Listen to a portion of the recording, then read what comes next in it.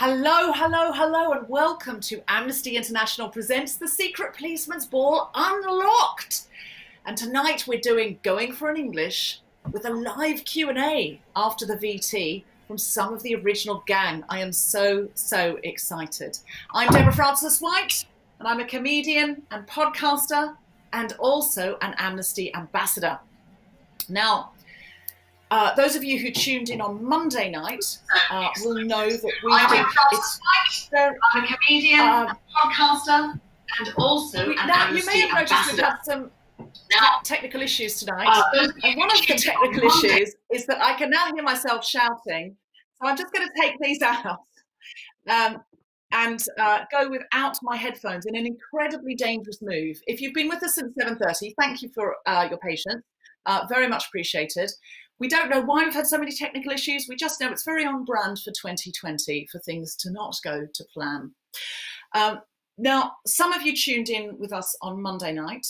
Um, and you know that we felt it really important to talk about uh, the current situation. And if you didn't, we're going to say it here now. Uh, Amnesty International and I feel it's very important that we are not silent on the structural racism and white supremacy that fueled the murder of George Floyd, Ahmaud Arbery, Breonna Taylor, and many more people in the United States of America and the rest of the world.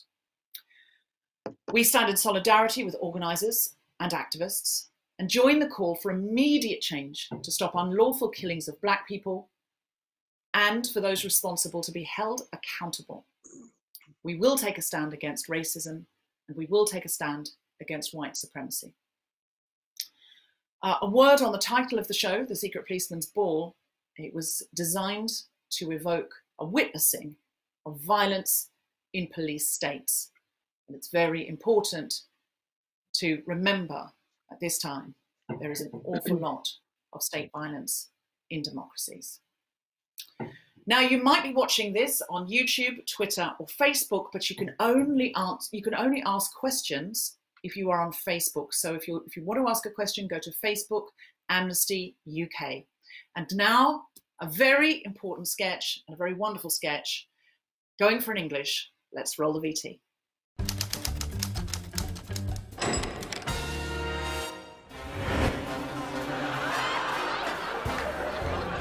Amnesty's Secret Policeman's Ball was established in 1976 and it raised funds and awareness for human rights. This is your nine o'clock alarm call. 44 years later and 11 balls later, these events are now the stuff of legend.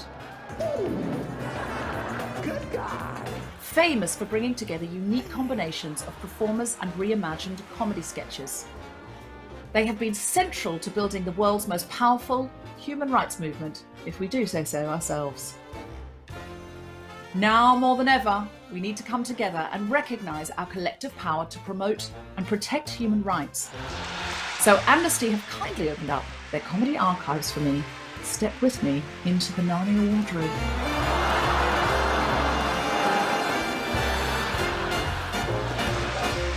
and we ask if at all possible, and it is possible, that you join or donate, or at least amplify our wonderful amnesty movement by visiting the website and the links appearing at the bottom of the screen. Or if you're watching on Facebook, just click the donate button. Come on, that money that you're not using now, you're not going down the pub. Give it to human rights. Welcome, welcome, welcome to the Secret Policeman's Ball Unlocked.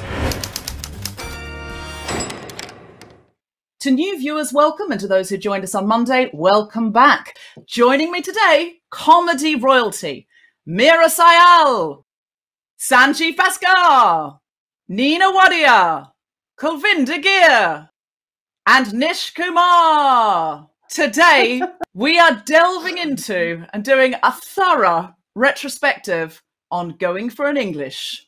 God damn it, guys. I mean, Bombay is the restaurant capital of the world, right? So how come every Friday night we end up in this dump? Because that's what you do, innit? You go out, you get tanked up on lassis, and you go for an English. Hello there. Welcome to the traditional English restaurant. My name is James. I shall be your waiter for this evening.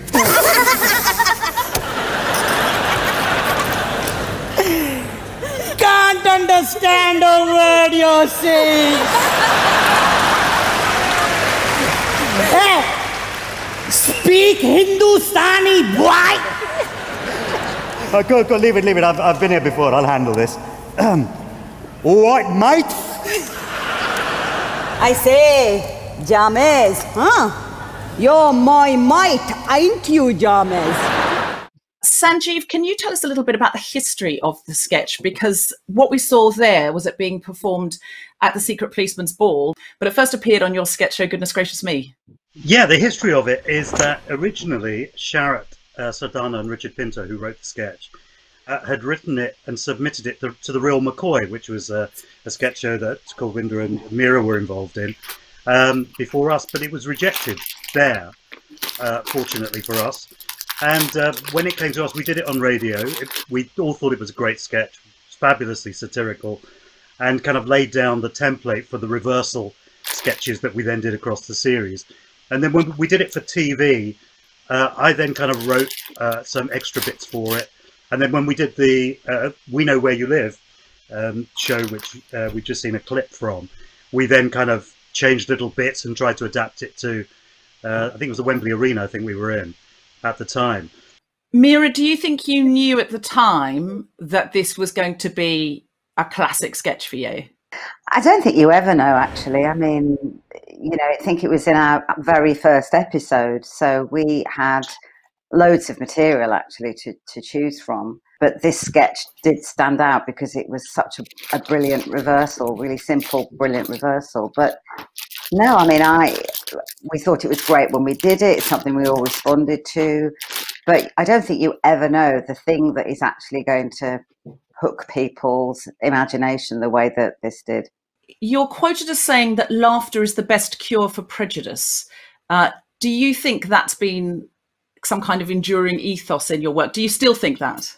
Uh, yeah, I mean, I think we all collectively felt as we were doing the show that it was changing people's attitudes toward how towards how we were viewed as a community. I mean, people just didn't think Asians had a sense of humour. Uh, you know, we were the sort of silent people that just served you in shops or mended your bones in the hospital, but people didn't think of us as being funny. And I think just that as a statement in itself changed a lot of people's perceptions. I think it's the time when the sketch came out, what was around the country, what was happening around the country at the time. Because you had your lager louts, you know, you had loads of the factors all high expectation. And then under, underneath all that, the passive Asian was suppressed really. And we didn't have a voice pressed like that. You need a voice. And I think that's what happened with all of us in that respect. That mm. sketch opened it up to say, look, we know what's happening. We're not, mm. we're not, we're not far away. We are very aware. And I think it was a generational thing as well. And that was a new generation coming up and saying, no, we're not going to have this anymore. We're going to stand up for it. I mean, and, and a lovely way to put it was in that sketch, we're not any indifferent. You know, we, we all we all have these differences that exist in us. Yeah, I was going to say that uh, in terms of tackling prejudice, I think humour is very powerful, but also uh, uh, annihilating Nazis. I always remember uh, Simon Munnery saying that the alternative comedians of the 80s were successful in bringing down Thatcher in the same way that the Berlin cabaret artists were so successful in bringing down the Third Reich. Good analogy. it gets into the fabric of society, which is almost more important. It doesn't tend to topple governments, but it gets under the skin of the culture, and that cannot help but change politics over a period of generations. Um, Nish, you maybe can speak to this because if it's not rude to say to everybody else, you were a child when this came on the television. Uh, yeah, I was uh, probably about 12 years old when the first series of Goodness Gracious Me aired. And when we were growing up, where when the television was on, if there was an Asian on TV, we would get called into the living room. And so we were given special provisions to stay uh, stay up late to watch the first episode of Goodness Gracious Me. This sketch and that first episode is sort of our like never mind the bollocks punk rock Sex Pistols moment. um, it was a sort of year zero for a lot of people who are now uh, working as comedians because uh, we just we we'd never seen Asians be funny, and we we had certainly never seen Asians be in comedies where we were in control of the jokes. It's one of those one of those ones that I think when we were on our live tour and we all felt like rock stars when we did it. Um, I know that people would sometimes shout out our lines before we would get there. Um, and that used to fascinate me because it was just like, sorry, uh, you know, I'm, we're waiting to actually perform it, but you know it. They knew it inside out, like you would songs at a concert. You know, it had a real rock and roll feel about it. The, that kind of lifestyle, even that we had going from city to city performing this. And I mean, if I'm very, very honest, when when we kind of went on tour with it, um, my instinct was uh, I, I was nervous because I wasn't sure, you know, how well it would be received. But it just blew us away. We were sold out, and people ju- just the love for what we were doing. We're going to hear at the night that Nish Kumar was in it, Himesh Patel was in it, Si- Sindhu Vee, and Bisha K. Ali. Uh, so let's hear a clip. Well, well, darling, why don't you have, huh? Why don't you have something a little bland? Hey, James Arthur, eh?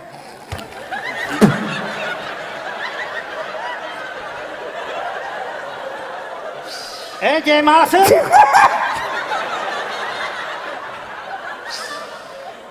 give her, give her something huh, that is not totally tasteless. Well, the, the, the steak and kidney pie is only a little bit bland. And there you go, eh, Susie. Eh, there you are. eh. Eh, why don't you have the steak and the kidney pea? Huh? But you know, I'm worried it blocks me, right? Uh, you know, I won't go for toilet for a week starting. I don't want that. Nina, that's the point of going for an English.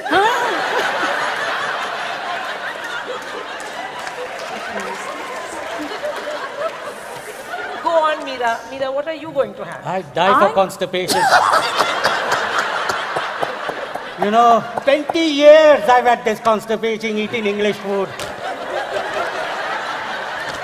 But so you must have. And the odd occasion is the diarrhea comes in strong. How was it for you, Nish? I mean, to be fair, you corpsed your way through it. You laughed more than you acted. There was no acting. I was just like I, I looked like it looked like someone had won a competition from the audience to just sit on the stage. Like, and that, like, it, I it, I can't describe what an uh, what an uh, a sort of out of body experience that whole that whole thing was. It's uh, you, you sort of and it's an opportunity you don't think you assume you're never going to get you know like it's like sort of like when you're a kid you're like well i'd like to be in goodness gracious me and the simpsons and you know eventually you evolve that into i would like to have a career in comedy but you certainly don't imagine yourself being able to be in those things with the people who did them originally it's it's mad i've done lots of little bits with all of these people because i did it had a writing job on the sky relaunch of the kumars and then when uh, and then I did the studio warm up when they had the goodness gracious me sort of reunion show. So I've been very fortunate to sort of pop my head in and do little bits with all of them, which is you know which is very sort of gratifying. I think it sort of increasingly convinced my parents that I had a job. What I hear from that Nish is that we employed you, but you haven't employed us.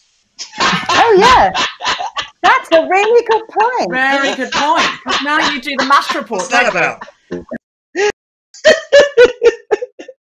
this this is the most Asian shit I could ever imagine. the community elders are coming back to get what's theirs. Respect. the interesting thing about it actually was that is the the spirit of the secret policeman's ball you know one of the exciting things about me being a kid and watching those early shows was the fact that you had rowan atkinson being involved uh, in the four yorkshiremen sketch or that you had pythons replacing goodies or you know, uh, Beyond the Fringe people replacing Pythons and, and all that kind of stuff. So very much just that little clip there seemed to be very much in the spirit of the Amnesty shows, which is lovely. Can I ask, does anyone have a favourite line or moment from this sketch? No, I was just going to echo. I was just going to echo what what Nina said. I mean, particularly the tour. That was pure rock and roll, wasn't it? And I think that's when we. It was so joyful to be a part of this troupe. Um, I remember when we first got together. I don't know if it's the same for you guys, but for me, it felt like coming home because I'd spent so many years finding things funny that no one else did around me and hmm. making up characters and doing comedy stuff that no one else got. And then I, you suddenly find yourself in a room where everyone has the same reference points as you, and you have this incredible creative shorthand. Hmm. And you go, Oh, I'm not mad. Actually, this is funny. And you find it funny too. Hmm. And I can't describe what that was like, but I think the spirit of that finding a voice and expressing it joyfully, it's there in, in the material. Are there any final words that you have about Amnesty International or um, uh, human rights? When Amnesty came into my life many, many years ago, it was through a theatre, Mazdak Theatre Company. And it was the humanity in that to find tortured political prisoners all over the world and how Amnesty stood up for that. And for that simplicity of that humanity, of equality, of justice, that's what you know what we asked for and that's what i asked for and i think that's what we stood for as a, as a company when we created that piece of work it was equality in that and a joy and it was a real celebration of that Deborah, I have to tell you very quickly. So this is my original shirt from goodness knows how many years ago when we did the amnesty thing. I have I have a little box with very special memories, and I found this in that box because this was Oh, one of the things that really one of the concept meant the world to me to be a part of. So this oh, is the can actual. Can you stand up and show us? Because they're going to use this for sure. yeah. Uh, where where? Hang on. Shoot, am I doing it properly? Ta-da! So that shirt is from Secret Policeman's Ball. We know where you live live. Yes, it is. You were so punk rock. Nish was right. Thank you so much. You've been so wonderful. Uh, can I ask for a big round of applause because we don't have an audience? You are your own audience. Uh, so can I can I ask for a big round of applause for Meera Syal? Woo! Woo! Nancy Fucker! Woo! Nina Wadia! Woo! Ghir! Woo! And soon to be phoning you with employment in America, Nish Kumar! Woo! I have been Deborah Frances-White. You've been an utter delight. Thank you so much, gang. We just can't appreciate it enough. This pandemic we're all in is a human rights crisis in the most immediate sense. And Amnesty International UK are campaigning to protect everyone through this. If you'd like to support us, and you know you would, please visit amnesty.org.uk forward slash join hyphen unlocked or amnesty.org.uk forward slash donate hyphen unlocked. Or if you're on Facebook, you can click that donate button right now to help build a world we want to live in together. Next up is our live Q&A, so don't go away. And this Friday, the 5th of June, 7:30 p.m., we are streaming the full-length Secret Policeman's Ball. We know where you live live from Wembley Arena on YouTube, Facebook, and Twitter.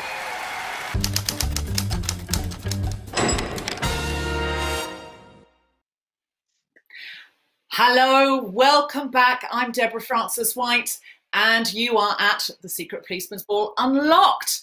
So, firstly, I want to send a very big thank you to all the brilliant comedy giants who have performed for Secret Policeman's Ball performances across the years, including the brilliant Eddie Izzard, who was the comedy glue that curated and held together We Know Where You Live live 2001, the show that this brilliant sketch featured in, and who passed the baton on towards me uh, 20 years later. Uh, so a big thank you there to Eddie. Now, uh, very excitingly, we have to answer your questions live the wonderful Sanjeev Bhaskar and Nina Wadia. Welcome, welcome, Hola. welcome, and thank you so much. Um, so first of all, uh, the first question I'm getting in my ear from the uh, from from the viewers is who was the funniest out of the goodness gracious me gang? Sanjeev, who Uh, was who are you asking? Uh, well, me and Nina, obviously, because we're the ones who are here. Oh right, yes, fair. The others, listen, Yeah. the others aren't here; they miss out. Nina, Yeah, I, I concur. right? So, uh, so absolutely, throw them under the bus. They've not been, they've they've not turned up. Um, uh, did you do you have any ex- special memories of the secret policeman's? Of, have do you have any special memories of the secret policeman's ball that you did that you that didn't appear in that video?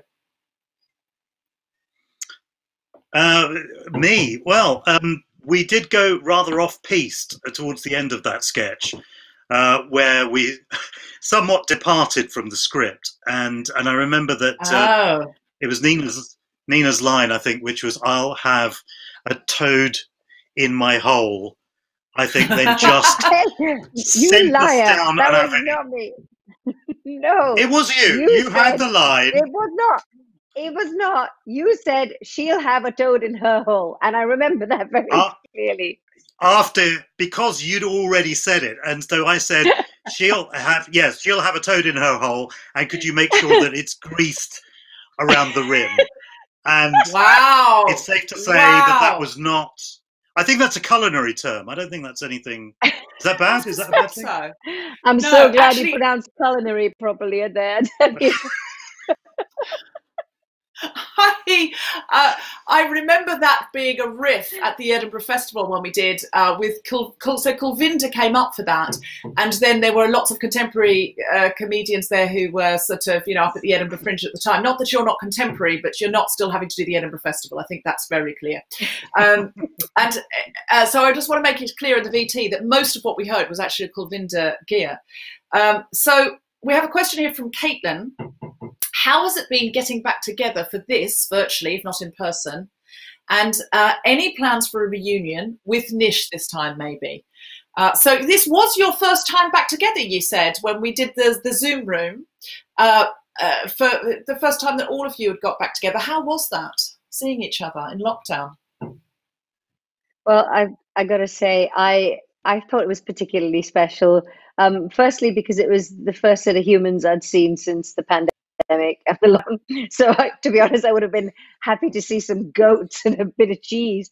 But the truth of the matter is, well that's made me feel better great i'm really glad i'm here it's all right. Hey, it's Kulvinder Ghir. Don't say Hey. don't say anything bad about Kulvinder, Nina, because he's behind you. It's not panto Right. season, No, but he is behind you. Nothing. No. Oh, there you are. Cool. Oh, so good to see you. But Ah. yeah, that's. We were just talking about. We all saw each other. You know, last week. We kind of did this whole sort of um, Zoom call together. How special it is, and it's it's it's one of those things where we really were a bit of a family when we worked together. You know, we we knew uh, each other's most annoying habits as well as like what just really made us laugh and i think that's just what it reminded me of again Uh, Kulvinder, I just have to point out that uh, just before you joined, that Nina did refer being as happy to see us last week as she would with a bunch of goats. I think it's just and a bit of cheese. Don't forget the cheese. The cheese is the best part. She said she's so far into lockdown, she's so desperate to see anyone, it wouldn't have mattered if there were goats on the Zoom. But I don't think she meant she wasn't thrilled to see you. Um, oh man. uh, any plans for a reunion, Kulvinder, maybe with Nish Kumar? Oh yeah, most definitely. Why not? You know, I think. Okay, you've heard that here. That's an run- exclusive scoop. Um, that's as soon as we're out of lockdown, we want a goodness gracious me reunion with Nish Kumar. I mean, I don't know that you should have Nish because honestly, all he did was laugh. He just he Well- just sat on the stage roaring with laughter at Kulvinder mostly. Well, that's that's why we should have him on, see, because he's just great. Because he just roars with laughter, and and that's sometimes what's needed. I mean, it's like having the audience on stage. It's like having the audience on stage with you. Um, ca I've got a question here from Wahida. Um, they say with not taking the typical career path of a doctor or an engineer, what issues, if any, did you face from family and society going into comedy? So I think this is a question uh, from an Asian viewer about uh, t- uh, p- potentially uh, parental expectations around career paths. Well, um, from, from my end, my mum was hugely disappointed because I was meant to be coming over from Hong Kong, where I grew up, to the UK to read law, and I literally went straight to drama school and tried to Oh, get away wow. with it. Yeah, and my mum didn't speak to me. We lived in the same house, but she didn't speak to me for about four months. It was really horrible, but it was at that time. It was certainly tough, you know. Um, but then the minute she saw that I was actually going to be working and I actually enjoyed what I did, um, she became my number one fan. So that was it was it was nice, but it was tough. Yeah, mostly mostly parents come round whenever there's a red carpet. That's what I find. Everyone loves showbiz. and They're free just worried about yes, your future. absolutely. Unless you're fitting it. Um, Fair. yeah, well, uh, unlike uh, my um, fellow goodness gracious mears, um, I came into it really late. So uh, I had a, a, a sort of laughable career beforehand in marketing and business. So uh, I was 33, I think, when we started. And uh, uh, so I basically won my parents' expectations so low that by the age of 33, uh, I could pretty much do anything I wanted. So at that point, it was uh, um, going for something that I really enjoyed, and uh, I was I was incredibly and have remained incredibly fortunate that the first thing that I did was was goodness gracious me. Wow. That was the first thing you did. Well, that's irritating for other comedians, if you don't mind me saying. We prefer you to have schlepped around playing an audience of seven uh, at the Edinburgh Festival. Well, the thing is, I uh, mean, here's the interesting thing: people would, uh, uh, f- other actors, not these guys, these guys are lovely, but other actors would tell me that I was just lucky that I'd never had to struggle, and I had to point out that the kind of you know 10, 12 years that I worked in other businesses, not doing what I wanted to do, was my struggle. So I was really Mhm. fortunate to find my way to it. But uh, but yes, you're right Indeed, to be and annoyed. also yeah. c- clearly you're just talented and, and you got very successful very quickly. Uh, annoying but fair. Um, so a question from James: Do you think getting into comedy and acting has gotten easier for BAME performers, or it's, is it still limited? Sorry, who's that question from? James, uh, is Ja- it harder? Jam- James. Jams? It's from James. James. Um, uh, or as Jam Ass, as uh, Kulvinder uh, insisted on calling him uh, Tom Tuck, who appeared in the sketch in Edinburgh. Um, uh, do you think it's it's it's getting easier for BAME performers now? Kulvinder, you Um, look you look keen. Yeah, I, I, I'm, I'm willing to go back to two questions because I just can't seem to get in there. Now I'm going to do. As for my as for my parents, wanted great expect, expectations for myself. I think I was on the roulette table. It was a gamble. My oldest brother was, in one sense, the the, the bright brains, the first guy to get a degree. The second one was the strength, the honesty. You know, the one who always moved the family forward. And I was the youngest in there. I was the roulette. I was the gamble, and and that was Ah. it. And and but Did you have what do you do? at- Did you have youngest you child privilege? Because they No, don't mind. it- They think, uh, oh, Well, see, uh, when you're ten, what privilege do you have? But, but, but sharing, but sharing, but but sharing your bed with your grandma and your brother in a box. Okay, that's That's- that's the other side of it. But just some some youngest children That's say, but- "Oh well, my story." brother became a doctor and my sister became a lawyer." Then they went, "Oh, darling, you can do whatever you want. Be a performance poet," because they've already sort of fulfilled their ambitions for their children. So, do you think because you were the youngest that they they didn't mind so much? I got away with murder being the youngest because you know, uh, because out of a, out of siblings in that respect, you know, you just went on your way with, with your passions and your desires. And when you're 13 and at Yorkshire and doing working at City Varieties in Leeds doing impressions, mm. and next next minute is a roller coaster. Next minute you're doing take take one, take two sketch show for Leeds youth players, and the next minute you're going to drama school and you're telling your parents it's further education. What do they know? It's further education. you know. You've had it and then sussed. and they say, and then they say it's a hobby. He'll he'll grow out of it. He'll be on drugs. He'll get this. He'll be doing that. He'll he'll run away with a white woman. Oh no no no, he won't. He'll be fine. He'll be fine. He'll get back on the path. He'll be straightforward again. But you know, you're the youngest. Why not play the roulette? I was expected to play the roulette, and I'm playing the roulette to this day. Wow. That was that was Can it I was just all like you acted on yeah, answer um, G Mars's uh, question about Yeah. um, sort of BAME performers?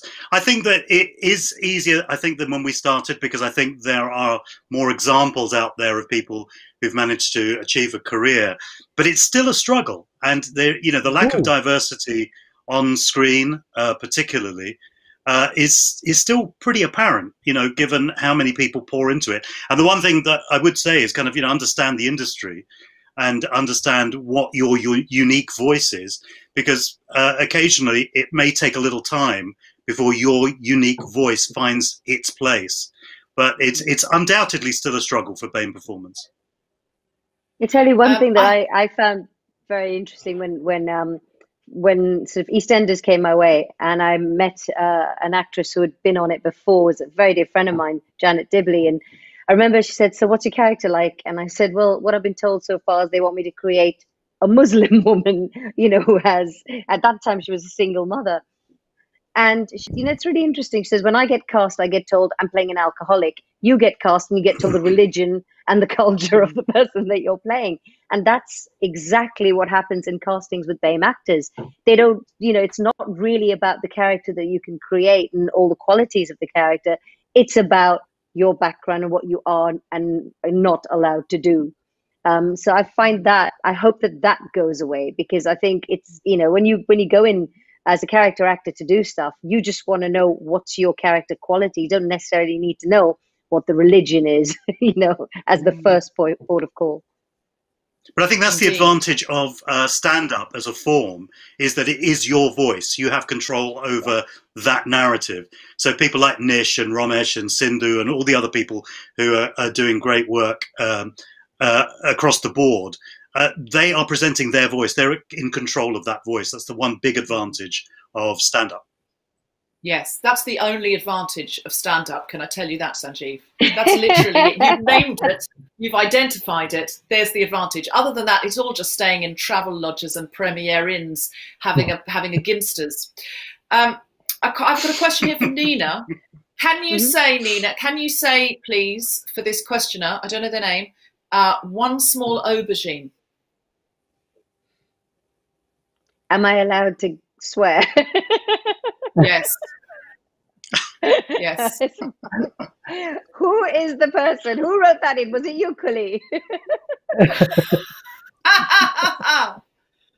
you do not have to do that. I'll move on to another No, I'm not going to. It's so insulting. and by the way, please stop sending me aubergines to sign. They go bad. I don't know what you do with them. so please stop it Stop it. Everybody stop with the aubergine content. Stop with the aubergine. And whoever get with the aubergine emoji, honest, they want to kill them. Yeah, that uh, that's taken a turn. Uh, Nina, this is a this is a more respectful, better question for you. Did Thank you you. have any idea, or did you understand the impact that you had on young brown children who had never seen people who looked like them represented on television? Gosh, not at all. Can I? I want to be really, really honest about this. When we did Goodness Gracious Me, I'd just come out of a show called Do You Eat With Your Fingers that we'd done at Theatre Royal Stratford East. And literally, it was like a little revue show. We had so much fun doing it. And then, you know, I got um, uh, taken over to do Goodness Gracious Me. And I remember thinking, I just really hope that, you know, Asians in this country like it. So then when it actually um, it, it took off in the way that it did and everyone embraced it, it was an absolute shock for me. I genuinely didn't think people would get it. So I did not know that. And I, I remember that when, you know, we, I think we'd done one series and the second series was happening and we'd been invited to some event or the other. And everyone was talk- talking to us like, oh, well, you guys are role models. I'm thinking, how can you be a role model having done just one little sketch show? I don't understand. Uh, so for me, it was an absolute shock to the system. Um, so just to be associated with it and be part of it is one of the most special things in my life. That's that's really lovely to hear, and the impact that it had on this country as well. In in in that it was uh, very precious and owned by an Asian audience, but it wasn't only wasn't only for an Asian audience. And the goodness gracious me family and the Kumars became everybody's family, and that that I think did re- remarkable comedy. Comedy can do remarkable things, and light entertainment can do heavy lifting. It really, really can. Um, Sanjeev, uh, you may have already answered this, but Luke says, what contemporary comedy shows or comedians would you personally say are in the spirit of goodness gracious me, as in giving a voice to a voiceless community? Uh, so you've already mentioned some of the most, um, you know, uh, current topical Asian voices, but there, is there anybody else that inspires you uh, as uh, it's, it's really awful to say an artist is representation because they're just telling their own story as well and they don't have to represent a whole community. Uh, but is there anybody that you feel has done that? Maybe somebody even surprising? I think that um, I mean, there are a number of people who are doing it and uh, doing it in clubs who may not get the platform of uh, broadcast. But I recently uh, was reading and then listening to an audiobook uh, Lenny Henry's autobiography. And that oh. puts a, a really kind of interesting context on that BAME journey in terms of what he had to endure in the 70s, being one of the first and certainly the youngest who was thrust into the spotlight, and what he went through in order to remain uh, relevant, um, given the pressures that were on him at that time. So you know, it, you know, it's, it's worth looking at those people whose journey has uh, who've traveled that road somewhat because I think that that's a source of great inspiration for me because I think people who are up there doing it, I think fantastic. That's where the momentum is. But if you want to learn from, uh, you know, people in terms of trying to inform your own journey, then you have to look at history, even if it's recent history. Indeed. Uh, Kulvinder, I'm getting a question here. How did you manage to pull so many faces as Dennis Cooper? that was me writing in, Cole. go on, Cole, do a couple now. Go on. ah, there you go. See, because uh, I, I didn't realize at the time I was making so many faces. That's the thing. Another thing. Oh, really? no, I didn't. I, I, the only the only thing I knew was that uh, that character Ding Dong.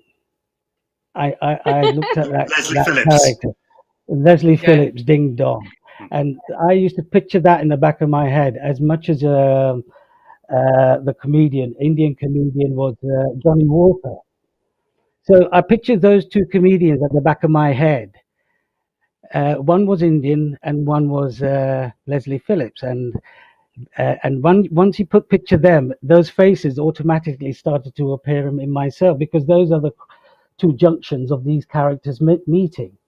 That's Uh, interesting. and yeah, so I did. I didn't. I didn't go out necessarily thinking I needed to pull a face. I just thought of those people behind me, and I thought, ah, yes, ah, ding dong, oh, fruity. So those aspects. Just naturally felt- and then when the Indian Indian Johnny Walker came in, if you know the old uh, Indian actor Johnny Walker, he, the way he looked, the comedic was he- he- he- those elements uh, fitted perfectly with this character, with Mr. Cooper, for myself, really. Wonderful.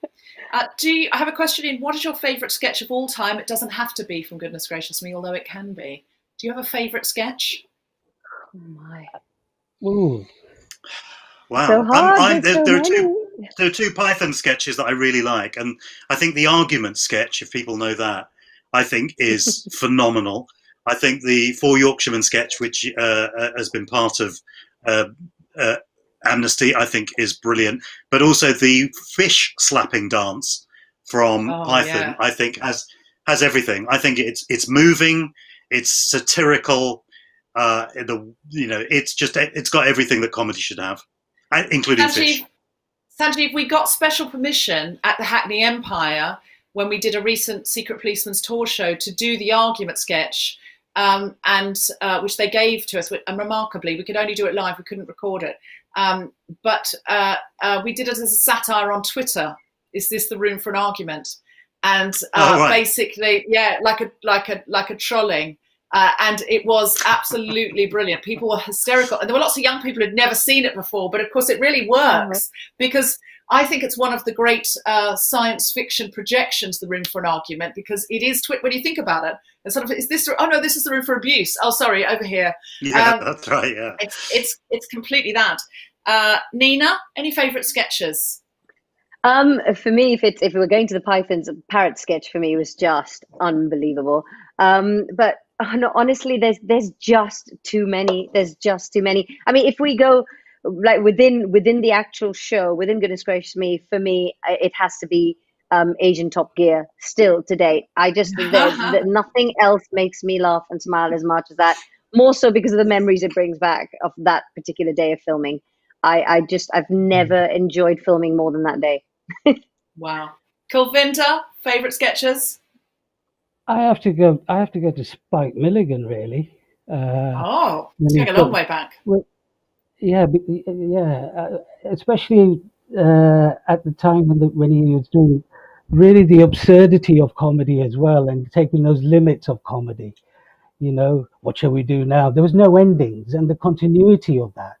And then the fortunate thing was meeting Spike Milligan, and then having to, him to sign my equity form uh, when I was applying for equity. So I have so, and hence meeting him at the Grand Theatre in Yorkshire with his with his uh, uh, uh, Australian hat hat on, with his dangling, and asking at that particular time why I wanted to do comedy, and I particularly remember him doing that comedy sketches he did at that time, and it really kind of played influence on myself. Yet he was taking those extremes with those characters and making them yet funny, but yet there was a satire in there, which I found really at that at that age growing up.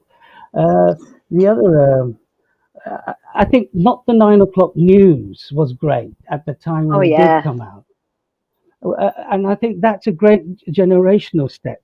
What they were starting to do, the work they were they were kind of exploring, and and the simplicity of that type of sketch shows, uh, especially with uh, Mel and Griff, the two guys meeting and chatting. I loved all the all, all the rap that was happening in that form. Uh, so there's been a lot of influences in the journey uh, of of of developing sketches and sketch shows in that respect. Yeah. Wonderful. Uh, this is a quick one from Amelia. Did Sanjeev's check, please, ever find love? uh, thankfully not. No. So um, it, it's an interesting thing with Check Please because I checked with friends of mine, uh, uh, perhaps over recent years, given what was happening socially and in society, as to whether you know that character was really sexist or not. And you know, my my female friends, uh, feminists, uh, said no, they didn't find him sexist, and I found that really interesting. And I, I kind of wanted to know why they felt that, and they kind of said because there's an innocence to him. It's not a kind of nasty, manipulative guy. He's an idiot, and uh, like like you know, so many of us guys are. Um, so yes, thankfully he didn't find love. Otherwise, we could never think about returning to see how his uh, dating escapades have continued. That would be a great one for a red nose. They love bringing stuff back. Um, so uh, this is an interesting question. Did Goodness Gracious Me have a predominantly BAME crew, and did it make a difference whether it was or wasn't crewed by BAME members? And it may have been whether there was a, an Asian crew or a BAME crew available then. We didn't, as Um, far as I remember. Sorry, go on, Sam. To my memory, there, Yeah. Yeah, the, my, to my memory, there wasn't. Yeah, I was going to agree with you, Nina. I think, but also what was unusual was that we had, uh, you know, producers, writers, and performers that were, and I think that was um, a huge leap forward in terms of representation uh, in front and uh, behind the camera. Uh, but certainly, by the time I, I was doing the Kumars, we did have uh, BAME people in cameras and sound that I do remember. But that was a few years later. So I think it was more about availability at the time rather than a an agenda.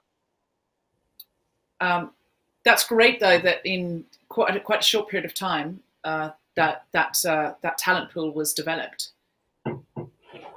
I think that talent yes, pool and, goes and a little also bit and, and further needs back. more. Yeah.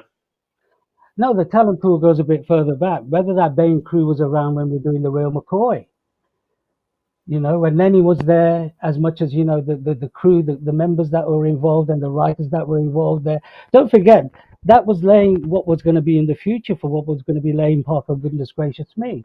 Whether the ideas of employing of people from different backgrounds, that was that seeds were being were being planted there. Uh, and then when goodness gracious me started to happen, only we only found that, like Sanjeev said, only the members of the cast that remained in, in, in that group. Yes, I think other members in time did start coming coming there. Interestingly, in our second series, we were sent to Birmingham. Uh, because there was more of a more of an ethnic ethnic crew there working there, and they wanted and they wanted the program to take it to to Birmingham Pebble Mill over there. Uh, So- there's an there's a uh, this this sort of this question links on um, in terms of talent pool. There's a young uh, in there's a there's a young aspiring uh, c- comedian uh, who's asking what advice would you give to young aspiring BAME comedians today? Any advice for someone coming up, but you know they're not they're not successful yet, like Nish or Sindhu or Bisha K. Ali, or uh, they're they're any advice. They'll, they'll take anything at this point. I mean, from from my end, genuinely, it's it's perseverance, um, and and it's also this. It's a really difficult question to ask because at the end of the day, there's there's so much. And, and I don't mean to sound facetious, facetious here, but there's so much luck involved in this business. Um, you know, I still to date meet incredibly talented actors from all backgrounds, all races, all cultures, and some who are in their 70s and 80s. And I just think, you know, how have you not been seen? How have you not had a massive, you know, career on television or in film? And it's because there is there is that thing of I think at some point when things don't work out the way you want them to, some people give up. They just kind of go, well, this is too hard. And there is something to be said for perseverance in this industry. So my my advice would be to just keep going and do the roots. You know, try and get into the fringe. You know, set, write your own material, get a YouTube channel. There's so many things you can do now that we couldn't do in our day. In our day, it was That's so literally just true. get your weeks done for equity. You know, just get your weeks in. um, That's so so there- true. there is a You lot can- of. You can make a sketch in lockdown and absolutely break through. If lots of people love it, then you know lots of people love it. Uh, you're not dependent anymore on the on the on the gatekeepers. Um, Yeah. Kulvinder, any any advice for young comedians coming Yeah. up? commitment like you know it's it don't don't do it think it's just for two years or one year or a flash in the pan. Think think for longevity as well. Uh, you have to in this line of work because if you think it's given to you on a plate then i think you have to you, you can't expect that. Unless And you're Sanjeev, and then the first show you do will be a huge hit. no but but the joy is actually the journey sometimes the journey is better than the destination see and I that's agree, always to remember, and that's always to remember that. Uh, the joy is the journey and sometimes the destination doesn't matter. It's going on that journey and and enjoying those audiences and enjoying those spaces that you're going to play. And and at the same as much as the characters you're going to get to play uh, just keep in there the commitment of it really. And finally, Sanjeev, any advice? I think uh, completely backing up what the other two have said, but also, uh, you know, hone your craft. You know, take care of it and and you know, sculpt it and shape it. But also, um, get people around you who will be honest with you about your material, because it, it's very very difficult to kind of hone it down on your own with no perspective. So get people around you who, who get it, who understand it, but who aren't afraid in the nicest way to tell you what doesn't work. That is absolutely wonderful advice, and uh, advice that I feel like um, I still need to hear. Uh, thank you so much for coming back uh, to, for this phenomenal reunion and to telling us so much about it, being so generous with your time, especially as we had technical difficulties. Uh, we really, really appreciate it. Amnesty International really appreciates it. Uh, human Rights thanks you. And speaking of human rights, gang at home, uh, on the screen below, you'll be able to see links. If you're on Facebook, click the donate button. Um, go and give Amnesty a follow. Go and join Amnesty International. You can join from like £4 a month and you get so much stuff. If you're feeling frustrated at the moment with the state of the world or even devastated, uh, even if you have, does anyone, I don't know if anyone else has a low level headache and nausea all the time looking at the news at the moment. Um, Amnesty is fighting for human rights and they make it easy. They say, right, we're going to take this big army of a voice. Uh, click here, add your name, uh, donate here. This is where your money's going to go. And they do get results. So become and be part of the Amnesty uh, tribe and army because it does make a massive, massive difference to feel like you're doing something. It might you might think, oh, I'm only one voice, but you're not only one voice if you join Amnesty International. And there are loads of other wonderful things you can do as well um, to get involved. Um, so on Friday night at 7.30, we are back here, hopefully on time and with no technical difficulties, showing We Know Where You Live Live, the Wembley Arena Rockstar show that you saw a clip uh, with this gang in, and you're going to see the whole thing. So come back at 7.30, but don't forget to join Amnesty uh, or at least give us a, a, retweet and a shout out somewhere. Thank you so much. A big round of applause and thank you for Sanjeev Bhaskar. Nina Wadia and Kulvinder Ghir. And also a huge thank you uh, to Meera and Nish who appeared on the video. Yeah. Thank you, everybody. Uh, thank, Thank you, you from Amnesty International you. and me, Deborah Frances-White. Good night. And Good good night. night. Good night.